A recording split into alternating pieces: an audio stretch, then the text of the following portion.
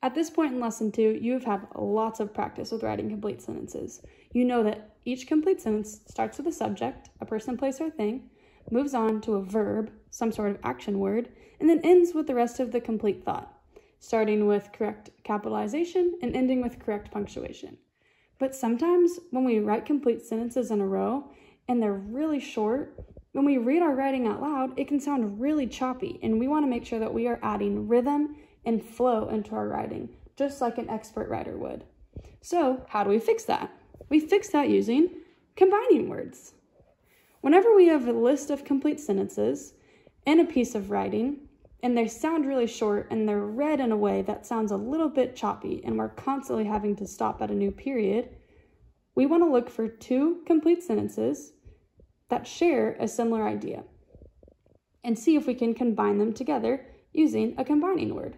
So, for example, I have a story right here. It says, I like to play outside. I can't ride a bike. I can roller skate. My sister plays too. It is so fun. We are always outside. So, this is a story all about me loving to play outside with my sister, things that I can do and things that I can't do when I'm outside.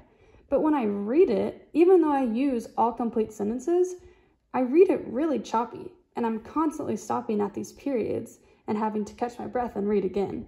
So, what I want to do is look for two or more sentences that share a similar idea and see if I can combine them using a combining word into one longer sentence to add more rhythm and flow into my writing. So, for example, my first three sentences say, I like to play outside. I can't ride a bike. I can roller skate. Now, these two sentences right here are both sharing a similar idea, talking about what I can't and what I can do when I play outside. So I'm going to take my two sentences and I'm going to add them together. My sister plays too. It is so fun. We are always outside. Now, these two sentences right here, my sister plays too, and it is so fun, are two sentences that are talking about the same thing. It is so fun is talking about what I think it is when I play with my sister. So these two sentences also share a similar idea.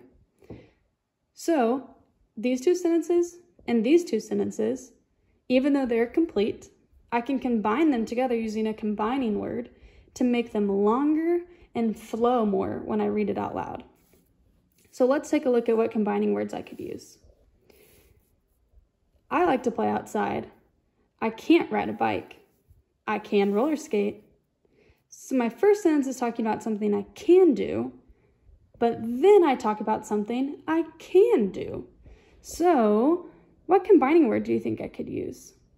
I can't ride a bike, or I can roller skate. Mm, that doesn't make much sense. I can't ride a bike, for I can roller skate.